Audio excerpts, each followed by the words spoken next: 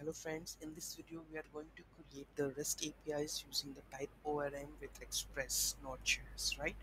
So in previous video, if you have checked my previous video, we, in the previous we have used the Postgres to connect to the DB, okay? So on that note, we are starting from there. So if you haven't watched the video, you need to watch the video so that you can come to know that how to connect the DB with the Postgres and we have already implemented the type ORM also right? So here we are using creating the REST APIs right? So let's start the tutorial.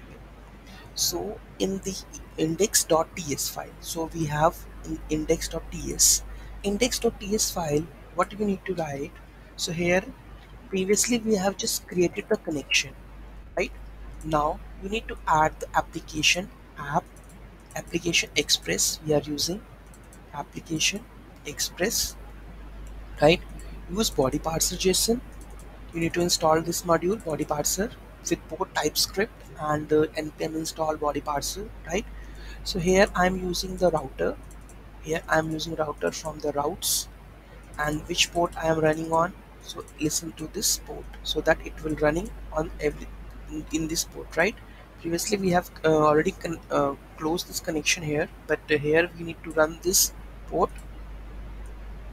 So here we are passing the port and this is connected okay? This is the app index.ts file which you need to write this code for the routes so that they can use the routes. And here we are using the retrieving that whenever you send the data that is used for body parser and here the application that we use express through this we are creating the routes and assessing the routes. Okay?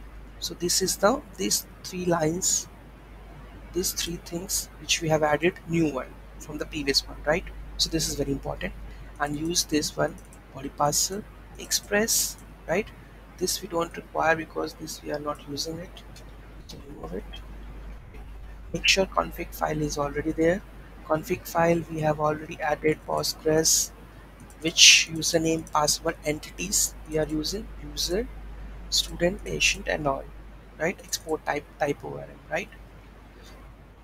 So this is index.ts file. After that we need to create a module that is called controllers. And models we have already defined already told you that in models we have user.ts file which we have a name email and password configuration right when this load it will generate email password in the postgres field right? After this we have controllers. In controllers we have to use bikes bcrypt.js json web token model express and type ORM. this is already okay? So you can also use the dot uh, config env so that you can make it configurable from the env file right? So here i'm using a register api so register this one right? So here you can see um, in the user.ts file index what we have written users user router this is user router right? In the users we have routes right? What we have defined the routes? Here we have defined route post register this one.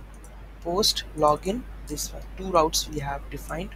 So in index.p index dot these two uh, use this full routes accessible by by putting first users then register or login then it will work okay? So first of all check whether the route is working or not. So let's go to the postman. So here I already created. So here I'm going to write register. So here I'm going to write register and here I'm if I put the same one what they're going to send the message? Email already taken right? So I'm going to add one two. So here it should be in raw JSON file name email and password. If I'm going to uh, if I go and check this one data I'm sending this one. Now I'm sending the data let's send it. User created. User created if I go to my pgadmin and check.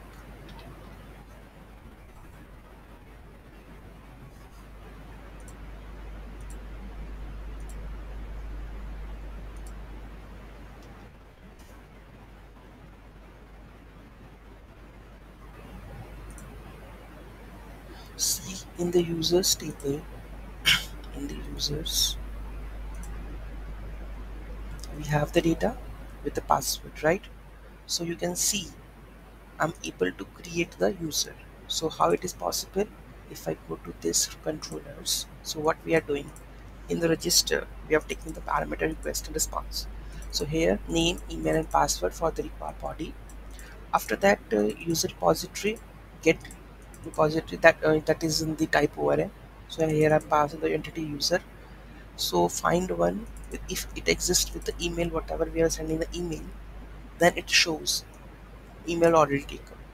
Else it will bcrypt that password and save into the database. With email password and hash password then it will save into the DB and sending me the response user created. After that we have the login.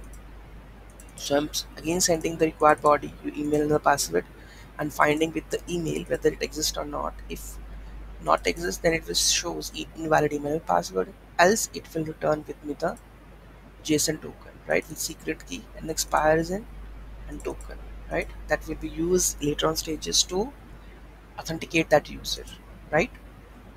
So if I uh, logged in where is my postman? If I logged in with this one make it login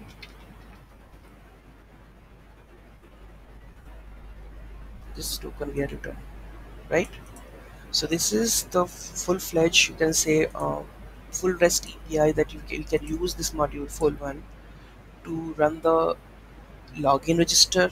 And you can make the modules with this is a basic boilerplate structure. You can see we have controllers we have models we have routes right? We have controller model routes. This is db seed.